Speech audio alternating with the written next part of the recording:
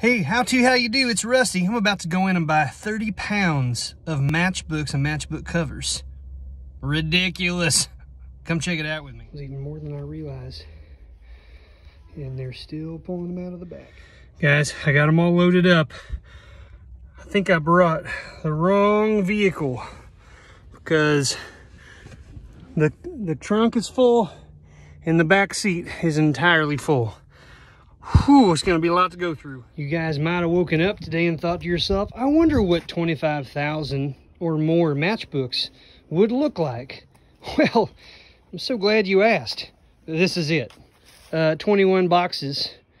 And uh, man, it is gonna be a hoot to go through these. Just absolutely crazy. My investment here was uh, right around $600.